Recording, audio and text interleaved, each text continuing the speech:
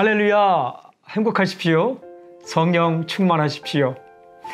시편 148편 1절부터 14절까지가 오늘 큐티 본문인데 그 중에 5절 말씀을 제가 읽겠습니다. 그것들이 여호와 이름을 찬양함은 그가 명령하심으로 지음을 받았음이로다.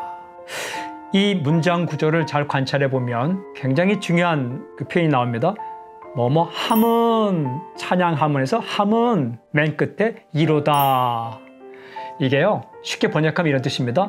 그렇게 하는 이유는 무엇 때문이다 이런 의미입니다. 그러니까 찬양하는 것은 무엇 무엇 때문이다 라는 겁니다. 찬양은 굉장히 중요한 행동이죠. 근데 왜 찬양하는가 이유를 말하고 있어요.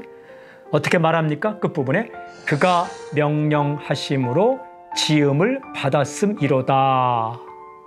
그러니까 하나님이 명령하셔서 나를 지으셨기 때문에 찬양한다라는 의미입니다. 이 말씀을 묵상할 때에 저에게 아주 중요한 메시지가 왔습니다. 내가 찬양해야 하는 이유는 하나님께서 나를 만드셨기 때문이다.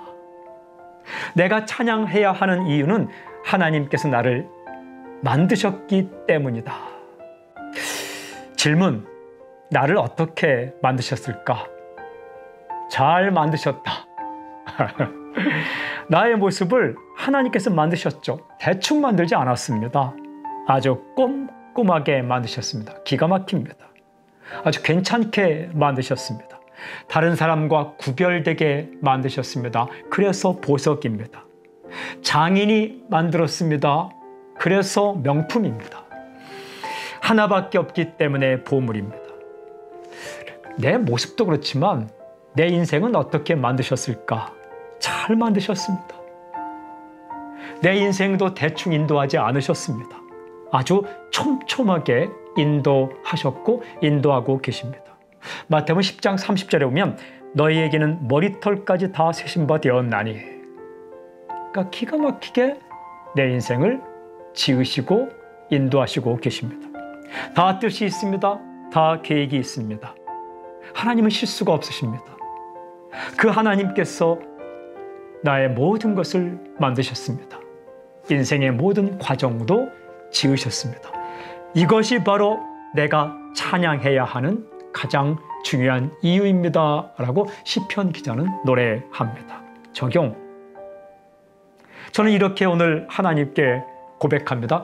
하나님께서 나를 만드셨으므로 내가 하나님을 찬양합니다. 하나님께서 나를 만드셨으므로 내가 하나님을 찬양합니다.